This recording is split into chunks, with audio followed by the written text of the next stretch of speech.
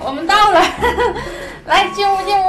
你好，你好，你好，你好。我给两位正式介绍一下啊，林兴华，我林大哥，啊刘颖，哎，我刘大姐。喜不喜欢这种类型？还行，还还可以吧。穿的多窝囊啊！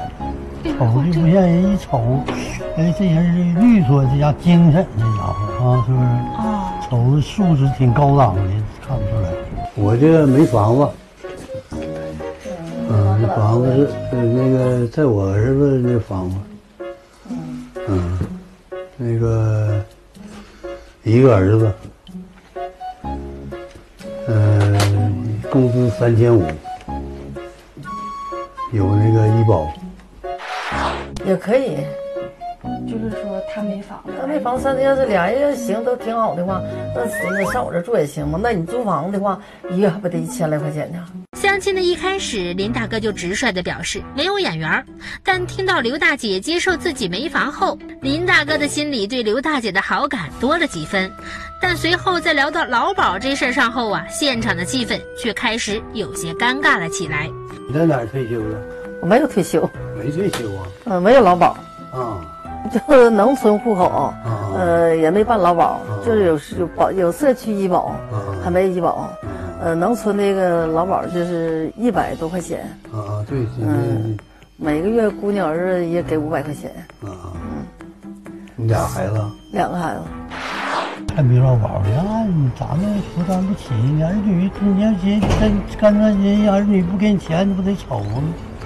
但儿女不能不给。不是，给咱也不，不得整这一千块钱，咱扯那干啥呀？没用。你看，要是说有退休金我，还自己有房子，就怕他挑衅咱们说那个啊。你看你没个房子，你说我没房，我不要你房子，我也不是要你房子，那你这住还不行吗？那你你要住都不行，这人你能跟他处吗？你寻思，你看他能不挑衅咱们呢？他他他就不挑衅咱没房子。啊，那那现在没房子也好，咱们就平常人也好找。林大哥觉得刘大姐没有退休金，如果两个人走到一起，自己这三千多块钱的工资啊，怕是有点紧吧。虽然刘大姐的儿女每个月给一千，但毕竟啊，还是不如劳保准成。关键我这现在想找一个有劳保的，俩人能搁在一起，完了，冬天我想上南方，夏天在北方待着。对，像你有的不就这样式的吗？嗯，也有给我介绍的，没劳保，人家也不干。嗯。嗯，就是再说，姑娘要是给一月给那俩给那点钱，他也不是开工资开劳保那个钱，属于自己。这孩子给你行，不给你也是不行。像他这种想法，人就都一般都招了，呃，多少都有点劳保的。但是说是人家有这种想法，嗯，孩子倒没问题，肯定得给，那是不带差的。但是人家不和劳保两两回事儿。对于林大哥的担心，刘大姐表示啊，自己完全可以理解。如果换做是他，可能也是同样的想法。既然林大哥对此介意，最后两个人决定还是做个朋友更为合适。